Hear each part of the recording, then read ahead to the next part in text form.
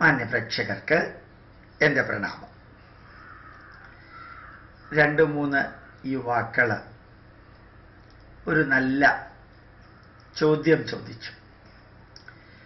അംശുബോധിനി എന്ന് പറഞ്ഞാൽ എന്താണ്?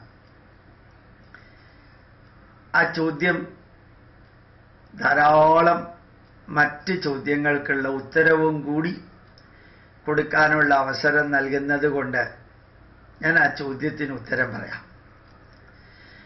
ഭാരതത്തിൽ എന്ന് മാത്രമല്ല ലോകത്തിലെ ഏത് ഭാഷയിലും നമ്മുടെ വിഷയം സംസ്കൃതത്തിലാണെന്ന് വിചാരിക്കുക. അപ്പം സംസ്കൃതത്തിൽ മലയാളത്തിലും തെലുങ്കിലും ജർമ്മൻ ഭാഷയിലും ഫ്രഞ്ച് ഭാഷയിലും ഇംഗ്ലീഷ് ഭാഷയിലും ഉള്ളതുപോലെ ആത്മീയ ഗ്രന്ഥങ്ങളുണ്ട് സാഹിത്യ ഗ്രന്ഥങ്ങളുണ്ട് ശാസ്ത്ര ഗ്രന്ഥങ്ങളുണ്ട്. ഇതിൽ ശാസ്ത്ര ഗ്രന്ഥങ്ങൾ ഭാരതത്തിൽ സംസ്കൃതത്തിൽ ധാരാളമുണ്ട്. കെമിസ്ട്രി സംസ്കൃതത്തിൽ എത്രയുണ്ടെന്ന് അറിയണമെങ്കിൽ തിരുവനന്തപുരം ആയുർവേദ കോളേജിലെ ലൈബ്രറിയിൽ ചെന്ന് നമുക്ക് ആ ലൈബ്രറിയിലെ സംസ്കൃത പുസ്തകങ്ങൾ രസതന്ത്ര വിഭാഗത്തിൽ ഒന്ന് നോക്കുകയാണെങ്കിൽ നൂറുകണക്കിന് പത്ത് നാനൂറോളം കെമിസ്ട്രി പുസ്തകങ്ങൾ സംസ്കൃതത്തിൽ എഴുതിയതുണ്ട്. അതുപോലെ തന്നെ ഗണിത ശാസ്ത്ര പുസ്തകങ്ങളുടെ എണ്ണം അറിയണമെങ്കിൽ മാനുസ്ക്രിപ്റ്റ് ലൈബ്രറി തിരുവനന്തപുരം കാര്യവട്ടത്ത് പോയാൽ ശരിക്കും മാത്തമാറ്റിക്സിന്റെയും അസ്ട്രോണമിയുടെയും പുസ്തകങ്ങൾ നമുക്ക് മനസ്സിലാക്കാൻ സാധിക്കും കാണാൻ സാധിക്കും. മാനുസ്ക്രിപ്റ്റും ഉണ്ട് പുസ്തകങ്ങളും ഉണ്ട്. വൈവിധ്യമാർന്ന വിഷയങ്ങളിൽ രോഗവും രോഗചികിത്സ മരുന്നുകളായിട്ട് ബന്ധപ്പെട്ടത് ആയുർവേദ കോളേജിലുണ്ട് അല്ലാത്ത സ്ഥലങ്ങളിലുണ്ട്. ലോഹതന്ത്രത്തെക്കുറിച്ച് എത്രയാ പുസ്തകങ്ങളുള്ളത്? രസാർണവം രസ രത്നസമുച്ചയം രസാർണവ കൽപ്പം രസേന്ദ്ര ചൂടാമണി രസ സാരസംശയ സംക്ഷിപ്തം. ഇങ്ങനെ ധാരാളം പുസ്തകങ്ങൾ മെറ്റലർജിയെ കുറിച്ചുണ്ട് അപ്പോൾ യഥാർത്ഥത്തിൽ അനവധി പുസ്തകങ്ങൾ നമ്മുടെ ഇതിലുള്ളത് നമുക്ക് കൃത്യമായിട്ട് ഇന്ന് നമുക്ക് കാണാൻ സാധിക്കും. ആ ഇന്നും കാണുന്ന ആ പുസ്തകങ്ങൾ അന്ന് എഴുതിയത് തന്നെയാണ്. എഴുതിയ കാലവും അതിനകത്തുണ്ട്. ക്രോണോളജിയും ഉണ്ട്. അങ്ങനെ എഴുതിയ പുസ്തകങ്ങളിൽ ഒരു പുസ്തകമാണ് അനവധി വർഷങ്ങൾക്ക് മുമ്പ്. ഒരു പക്ഷേ പത്തിരണ്ടായിരം വർഷങ്ങൾക്ക് മുമ്പ് എഴുതിയ വലിയൊരു പുസ്തകമാണ് അംശുബോധിനി എന്ന പുസ്തകം. തഞ്ചാവൂർ സരസ്വതി രത്നമഹൽ ലൈബ്രറിയിൽ അതിന്റെ കുറേ ഭാഗങ്ങളുണ്ട് ബറോഡ രാജാവിന്റെ കീഴിലുള്ള വലിയൊരു ലൈബ്രറി അവിടെയുണ്ട്. അവിടെയും ഈ അംശുബോധിനി എന്ന പുസ്തകത്തിന്റെ ചില ഭാഗങ്ങളുണ്ട്. അതിബൃഹത്തായ ഒരു ഗ്രന്ഥമാണ് അംശുബോധിനി. എത്രയാ അധ്യായങ്ങൾ ഉള്ളതെന്ന് കൃത്യമായിട്ട് അറിഞ്ഞുകൂടാ? മാത്രമല്ല ആ അംശുബോധിനി എന്ന പ്യുവർ സയൻസ് പുസ്തകം എഴുതിയത് ഭരദ്വാജ മഹർഷിയാണെന്നാണ് പറയുക. അതിൽ എഴുതിയിരിക്കുന്നത്. അതിന്റെ കുറേ ഭാഗങ്ങൾ ഇന്ന് അവൈലബിൾ ആണ്. കുറേ പേര് റിസർച്ച് നടത്തുന്നുമുണ്ട്. അതിൽ ഓരോ അധ്യായവും ഓരോ ഉപകരണത്തെക്കുറിച്ചാണ് വിവരിക്കുന്നത്. ഓരോ ഉപകരണത്തെക്കുറിച്ചാണ് വിവരിക്കുന്നത്. അതിൽ ഒരു ഭാഗമാണ് യന്ത്രസർവസ്വം എന്ന് പറയുന്നത്. യന്ത്രസർവസ്വത്തിന്റെ ഏതാണ്ട് എല്ലാ ഭാഗവും ഇന്ന് അവൈലബിൾ ആണ്. യന്ത്രസർവസ്വം എന്ന പുസ്തകം അംശുബോധിനിയുടെ ഭാഗമാണ്. അതിലെ നാൽപ്പതാമത്തെ അധ്യായമാണ് വിമാനതന്ത്രം എന്ന് പറയുന്ന വലിയൊരു പുസ്തകം. ഒരു ഒരു അധ്യായം തന്നെ ഒരു പുസ്തകമാണ്.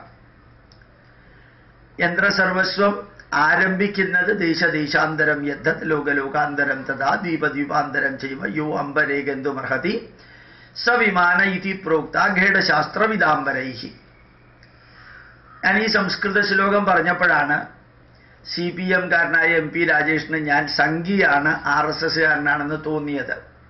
സംസ്കൃതത്തിലെ ഏതെങ്കിലും വരി പറഞ്ഞാൽ അപ്പ ആർ എസ് എസ്സുകാരനാവും സംഘിയാവും ആവാതിരിക്കാൻ എളുപ്പം എന്താന്ന് വെച്ച് കഴിഞ്ഞാൽ കേരള യൂണിവേഴ്സിറ്റിയിലെ കഴക്കൂട്ടത്തുള്ള സംസ്കൃത ഡിപ്പാർട്ട്മെന്റിൽ മഹേശ്വരൻ നായർ എന്ന് പറയുന്ന ഒരു പ്രൊഫസർ ഉണ്ടായിരുന്നു. അദ്ദേഹം അല്ലെങ്കിൽ അയാൾ കറകളഞ്ഞ സി പി എം ആണ്.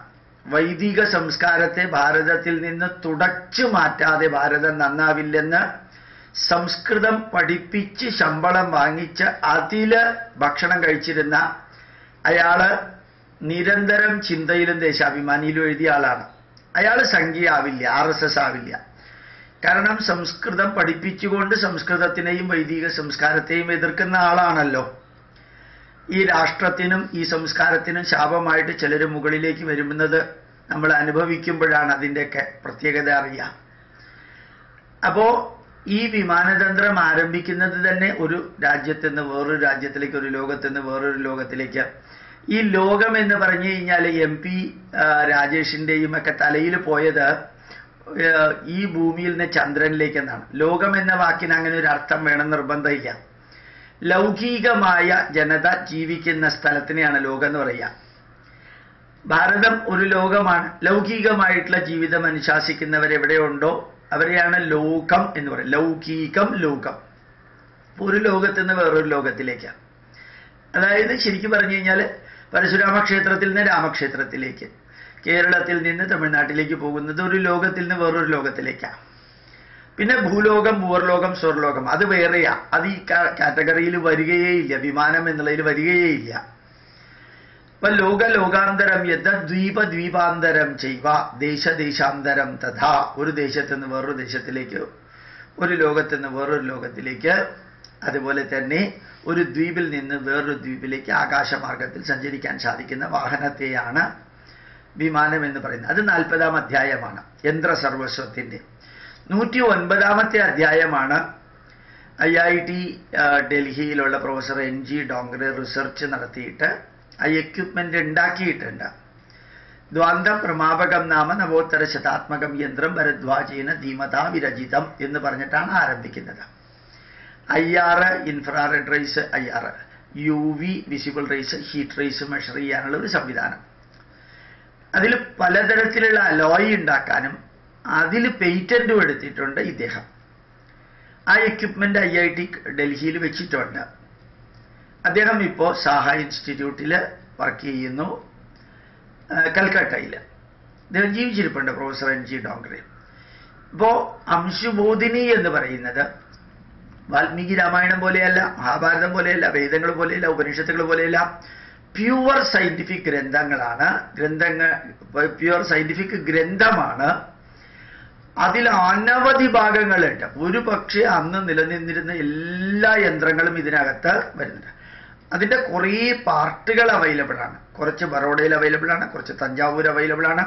ജർമ്മനിയിലും ഇംഗ്ലണ്ടിലും ഒക്കെ എത്ര അവൈലബിൾ ആണെന്നുള്ളതിനെ കുറിച്ച് ആർക്കും ഇതുവരെ കണ്ടുപിടിക്കാൻ സാധിച്ചിട്ടില്ല. അതിൽ വിമാനതന്ത്രം എന്ന പുസ്തകം Indian institute of scientific heritage publish ചെയ്തിട്ടുണ്ട്.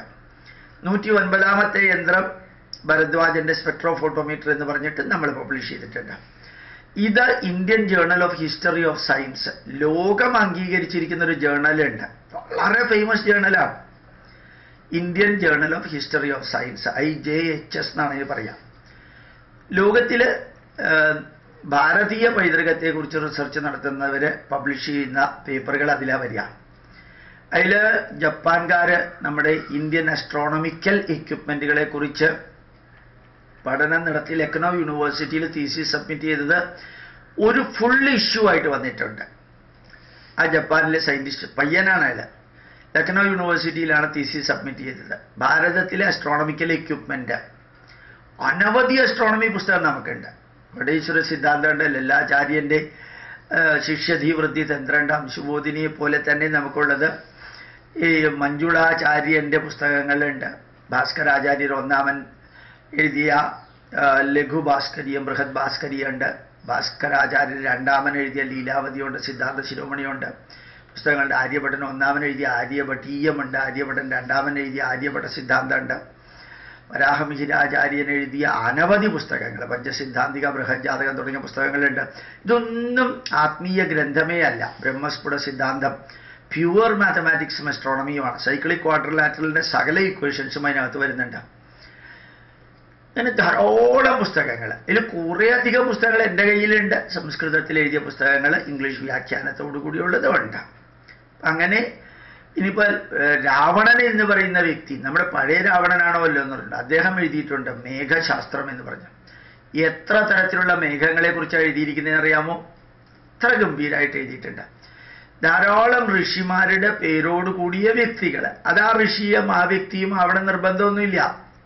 ഇപ്പോ ശരിക്കും നോക്കിയാൽ രാധാകൃഷ്ണൻ എന്ന് പറയുന്ന വ്യക്തി ഒരാളാവണമെന്നില്ലല്ലോ. അത് പണ്ടത്തെ ഇന്ത്യൻ പ്രസിഡന്റ് ആവാം അല്ലെങ്കിൽ വിവേകാനന്ദ കേന്ദ്രയുടെ ഫുൾ ടൈം വർക്കർ രാധാകൃഷ്ണൻ ആവാം അല്ലെങ്കിൽ കോൺഗ്രസിന്റെ നേതാവ് തിരുവഞ്ചൂർ രാധാകൃഷ്ണനുണ്ട്. ഇപ്പൊ രാധാകൃഷ്ണൻ എന്ന് പറഞ്ഞു കഴിഞ്ഞാൽ ഒരാളാവണം നിർബന്ധമൊന്നുമില്ല. എത്രയോ പേരുണ്ട്. നമ്മൾ മനസ്സിലാക്കാനുള്ളത് ഒരു തരത്തിൽ ഇടുങ്ങിയ മനസ്സോടുകൂടി കണ്ണു അടച്ചിരുന്ന നട്ടൊച്ചയ്ക്ക് ഇത് അർദ്ധരാത്രിയാണെന്ന് പറയുന്ന ഒരു സംസ്കാരം കേരളത്തിലെ ബുദ്ധിജീവികളും സംസ്കാരശൂന്യ നായകന്മാരും യുക്തിവാദികളും കുറേ അധികം ചുക്കും ചുണ്ണാമ്പും മണ്ണാങ്കട്ടെ അറിയാത്ത കുറേ മാർക്സിസ്റ്റ് പാർട്ടിക്കാരും ചേർന്ന ഈ നാടിനെ കുത്തുവാള എടുപ്പിച്ചത്. അവനവന്റെ അമ്മ വേശിയാണെന്ന് അഭിമാനത്തോടു കൂടി പറയുന്ന ഒരു വിഭാഗം ജനത ഇവിടെ ഉള്ളത് കൊണ്ടാണ് ഈ നാടിന്റെ സംസ്കാരത്തെക്കുറിച്ച് പഠിക്കാനും പഠിപ്പിക്കാനും ഒന്നും പറ്റാതെ പോയത്. ഏതായാലും നിങ്ങൾ ഇതെല്ലാം പഠിച്ച ഈ അംശുബോധിനി എന്നൊരു ചോദ്യം ചോദിച്ചതുകൊണ്ട് എനിക്ക് ഇതെല്ലാം പറയാൻ സാധിച്ചു. ഇതെല്ലാം മണിക്കൂറുകളോളം പറയാനുണ്ട്. ഈ പുസ്തകങ്ങൾ വായിച്ചിട്ടുണ്ട് ഞാൻ. അതുകൊണ്ടാണ് ഞങ്ങളോട് ഉറപ്പിച്ച് പറയുന്നത്. നമുക്കിത് ഒരു തിരുത്തൽ കരയാനും ദുഃഖിക്കാനും വേദനിക്കാനും തലകുനിച്ചിരിക്കാനും ഒന്നും നേരെയില്ല. നിലനിൽക്കേണ്ടതിനെ പ്രകൃതി നിലനിർത്തും. നമ്മൾ അതിന്റെ ഉപകരണമായാൽ മതി. നിമിത്തം മാത്രം ഭവ സവ്യസാചിൻ. നീ ഒരു ഉപകരണമാവുക. പ്രകൃതിക്ക് നേരിട്ട് വന്ന് ചെയ്യാൻ സാധിക്കില്ല. നമ്മൾ പ്രകൃതിയുടെ കയ്യിൽ ഉപകരണമായാൽ ബാക്കിയുള്ളത് നമുക്ക് ചെയ്യാൻ സാധിക്കും. അപ്പൊ കുറേ പഠിക്കുക. പഠിക്കാനുള്ളത് യൂട്യൂബിലുണ്ട്. പ്രണാമം നമസ്കാരം.